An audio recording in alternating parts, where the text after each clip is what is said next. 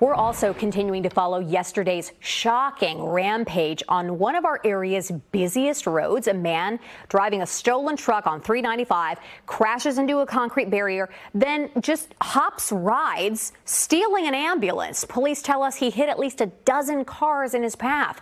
Tonight, News 4's Joseph Olmo has new details about the man behind the wheel who led officers on a wild pursuit.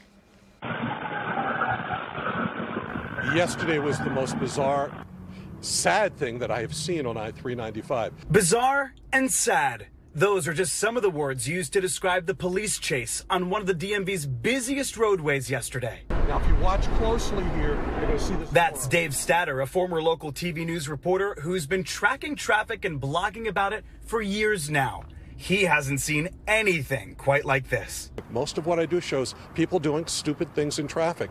This is a little more than stupid. This seems to be almost a willful act of somebody barreling through and crashing into these cars in a couple different spots and then doing the same thing with the ambulance that they stole. It all started just before 4 p.m. yesterday on I 66 in Virginia.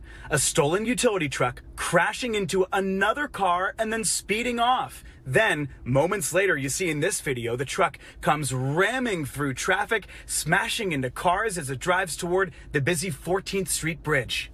We are right now driving the exact same route that that suspect took yesterday. And after ramming through several cars just before the 14th Street Bridge, he goes through the guardrail right there, gets out of the truck that he's in, and then runs down to the GW Parkway.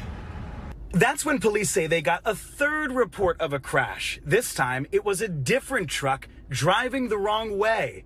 Now, as you can imagine at this point, paramedics are arriving to all the crash scenes. And when one ambulance stopped on the GW Parkway, the suspect gets inside and drives off. At one point, coming nearly face to face with a state trooper who appears to have their weapon drawn zigzagging through northern Virginia, going as far as Shirlington until getting back on 395 and heading towards DC. The line of police cars behind the ambulance growing longer and longer. And what makes this all the more difficult for everybody here is that these cars are all stopping because they yeah. think that it's a regular ambulance. Absolutely. The ambulance is supposedly there to help you, but unfortunately this guy's in there and it's doing anything but helping you. The pursuit continued into D.C. and ended when the ambulance crashed head on with a parked car. The suspect, 30 year old Darrell Caldwell from Maryland. Right now, police can confirm at least 21 vehicles were struck by Caldwell. That number could go up as the investigation continues. He was taken to the hospital and still awaits a long list of charges. There's a lot that goes on on the highways.